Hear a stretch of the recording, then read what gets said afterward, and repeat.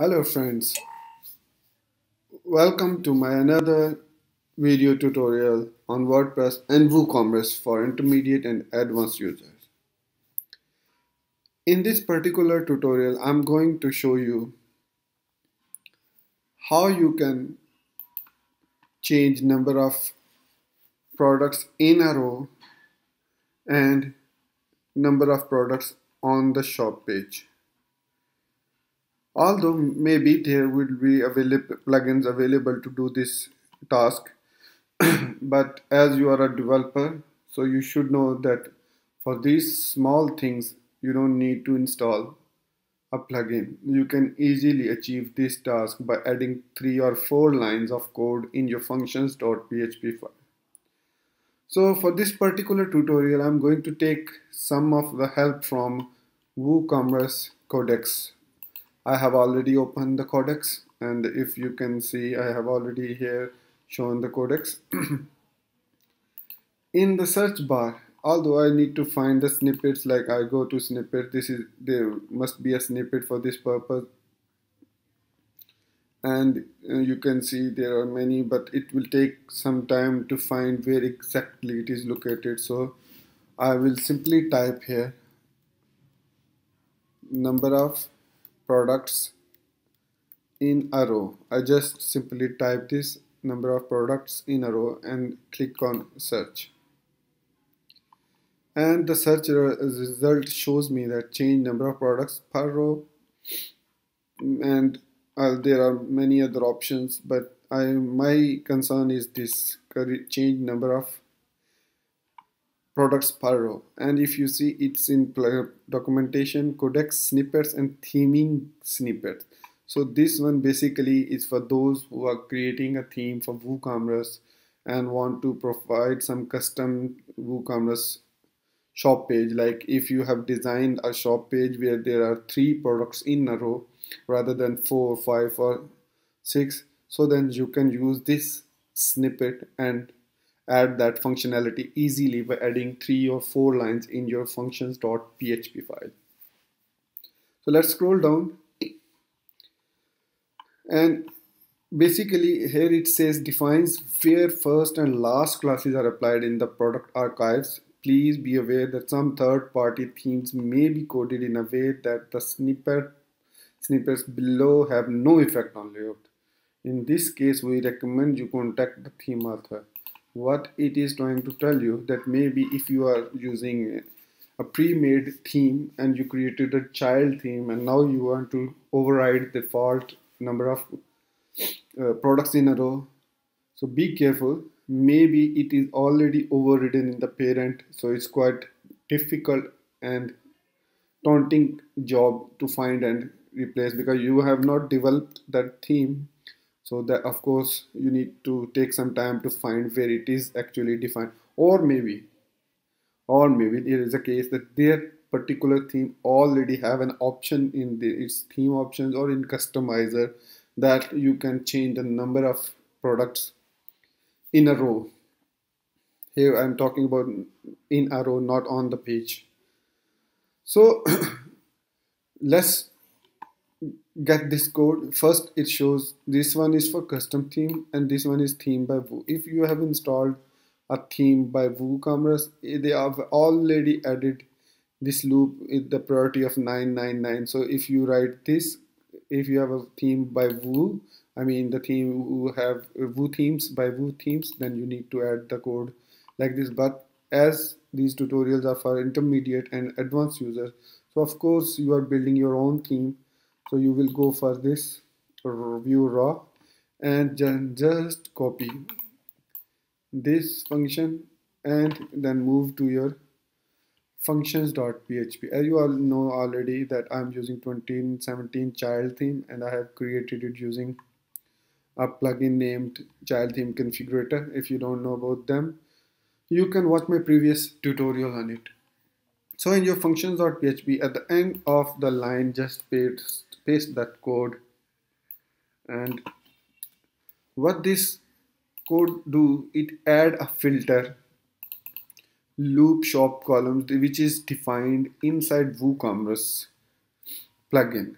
And then it will run this function. And if not function exists you can name it whatever you want loop column my loop column or whatever. But this one they have used in default. You can put it at by your any of your name. You can give it any name.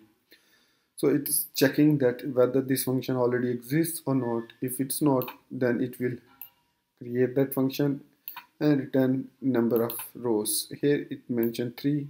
So what this one will do it will display three products in a row. So if we go back to our products page and we look here and refresh the page is 3 but uh, you may say it's already 3 because I haven't refreshed my page before adding this code. So let me cut this code and save it and then I will refresh this page and you will see by default it has four row four products in a row. So I will add the code here again. Uh, so uh, here I will paste the code and save it and then reload the page basically there is no option available in uh, WooCommerce settings that you can change number of products per row. Here there is no option where you can see where you can change number of products per page. So this one is for this tutorial is for this purpose that you can change easily how many products you want to show. Okay now one thing I am showing this now in three rows three sorry three products in a row. So if you see there is analyze there is a white space here. This is we can cover this by adding a sidebar or by expanding the each product image and I mean each product size. So if I inspect element and and go to a like class of that particular product and you see it's apply the width is 22.05 with this class so to override this I simply copy this. Copy it but before copying it let me see how much percentage if we give that it will not break down. And, and you can see it's just uh, 30 if we go beyond 30.05 or if I add 55 8575 uh, yeah 30.75 percent then it will work perfectly with full screen and it will take the and it will look good as it was looking good before when it was four products in a row. So I just right click on it copy it move to my style sheet child style sheet and paste this code here. And after that width is equal to 30 percent. Before writing another css parameter or attribute which is not important uh, I mean not important doesn't mean that I say it's not important because I'm talking about this not important feature. I will not use it first and then I will save and and reload the page and see if it works. So it works without using not important. Uh, so I don't need to add that. And now you see we have three rows three products in a row. But there is a small problem. If you scroll down you will see if you have more than two three pages suppose I have here four pages the last products is only one. The last product is one. Because there are total 12 products on a row by default on the shop page WooCommerce shows 12 products on the page. So even if we go here in the settings we will not be able to find how many products you want to show on a page. That is default. 12 number 12 products per page. So if you go to next page it will also be 12 products. And so we want to make it like 9 or 15 9 or 15 so it looks good that 3339 or 33315 uh, sorry 15 yeah. So I will use 3 3 6 and 3 9 it is 12 13 currently 3 3 uh, 3 3 6 3 9 and 10 sorry.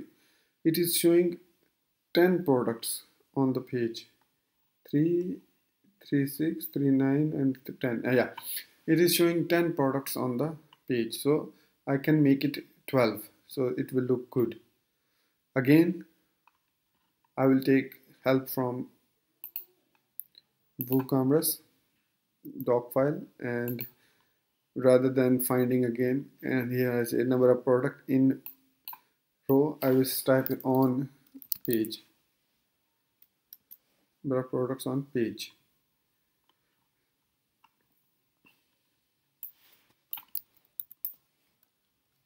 Number of products on page. Search and if I see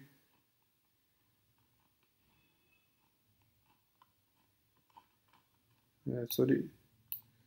Uh, it should be showing here.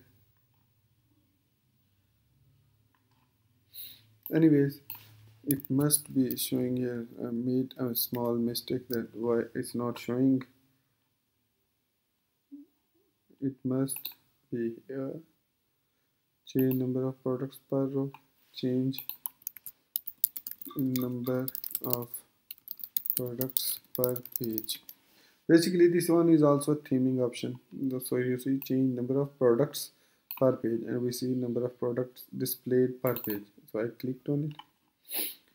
And here it shows me shows us that this single line of code will do the trick I will copy this. Move to my functions.php file and at the end of line I just simply put this code. So it says 24 I will change it to 12 I will explain what does it mean and later. So I will just simply go and reload the page. And now you see we have 3 3 6 3 9 and 3 12 for each page. We have 12 products on each page. So let me explain to you what this code will do. This is actually creating dynamic uh, function. This create function is dynamically created. And we can modify this so it will look same like this. Let's call this number of products per page. Simple like that. And 20 parameter by default it accept one parameter. So I will write function number. Let me copy this. Copy paste. Number of and columns. It accept column as I'm not going to manipulate this column. Even I what sorry page page page. I will simply do return. How many? 12 simple. So this is the simple way. That one was dynamically created function. So I, I have converted it to this function. So save this one and move to your browser and run it and it will output the same result which was provided by previous code where it was written in one line.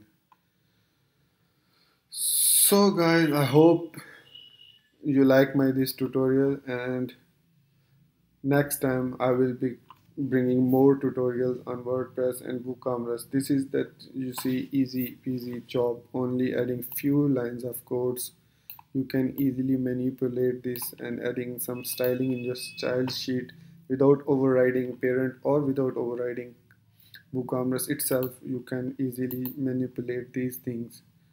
So I do recommend you that you visit uh, codex of uh, this WooCommerce codex doc file and